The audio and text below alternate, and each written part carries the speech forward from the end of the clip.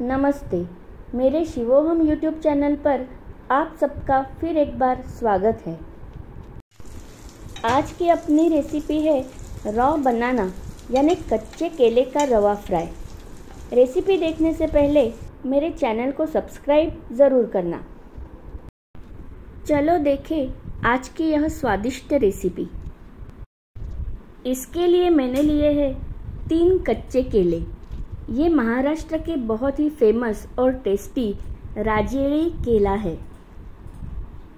आप अपने यहाँ का कोई भी कच्चा केला ले सकते हैं। अब हमें इसके इस प्रकार से छिलके निकालने हैं।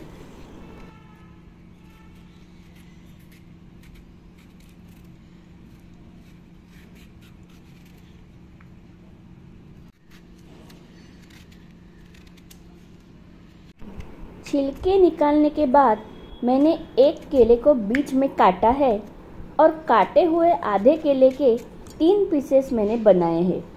इस तरह तीन केले के अट्ठारह पीसेस हो गए हैं। हमें ये पीसेस एकदम पतले नहीं काटने, बल्कि मीडियम रखने हैं।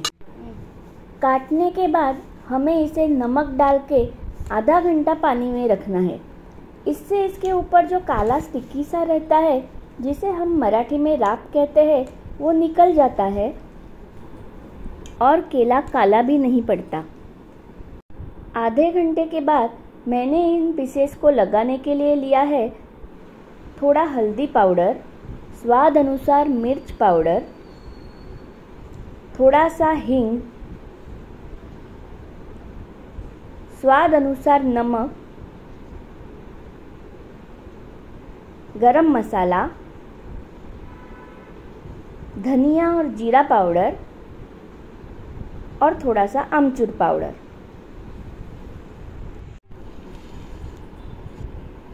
अब मैंने इसे मिक्स करना है और केले के पीसेस को इस तरह से लगाना है।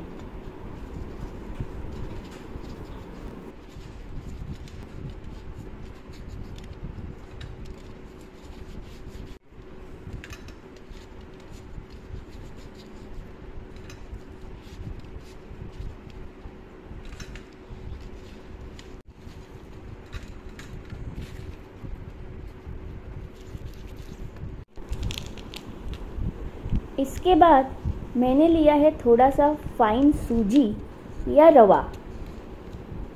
और इस तरह से इस केले को लगा लिया है।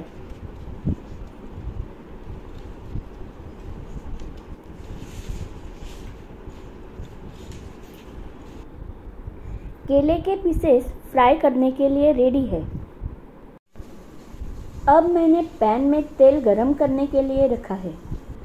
तेल गरम होने के बाद एक एक पीस हमें तेल में छोड़ना है। गैस लो मीडियम हीट पर ही रखना है। ये पीसेस हमें डीप फ्राई नहीं करने हैं, बल्कि शैलो फ्राई करने हैं तो इसी अनुसार हमें तेल डालना है। पाँच मिनट के बाद हमें ये पीसेस पलटी करने हैं। अब हमें छिड़कना है थोड़ा सा पानी। और उन्हें ढक के रखना है। इससे हमारे केले के पीसेस अच्छे पकेंगे और सॉफ्ट भी बनेंगे। पाँच मिनट के बाद आप देख सकते हैं कि मेरी छुरी बिना चिपके बाहर आ रही है।